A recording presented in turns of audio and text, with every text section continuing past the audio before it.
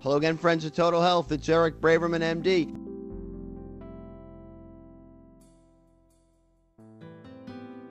The bottom line is, most people that are coming to see me have leptin resistance. They got too much fat. They got flabby bodies. They got double chins. They got tired looking eyes. They got slumped shoulders.